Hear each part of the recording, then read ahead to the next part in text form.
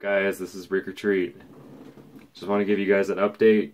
Yesterday we played a bad ass show at the Brick by Brick with the boys Nim Vind, Argyle Goolsby, and Michale Graves.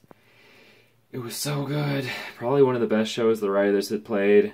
Um, big ups to Luke at Brick by Brick for being a great sound guy, and of course the other bands for just kicking ass. Um, so today's video is just a quick update. Uh, starting on Wednesday, I'm going to be carving one pumpkin every day until Halloween. So have fun watching that because I'm going to compile all of them together at the end in probably by, you know, maybe the 4th of November. Um, originally, I had intended on doing one for every day of the month, but that is a lot of pumpkins, and I do not have a job where I get paid currently. So I had to minimize it to seven, and uh, hopefully it'll come out pretty cool. Hopefully you'll be interested in it. Either way, I love carving pumpkins, even though I suck at it. So if you watch it, cool. If you don't watch it, cool. I carved seven pumpkins.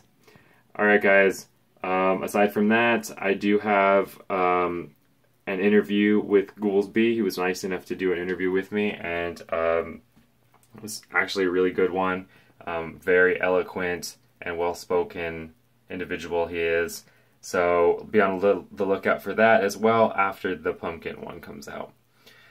Alright, aside from that, I hope you guys have a great day. See you all on Wednesday. This has been Rikk R Treat.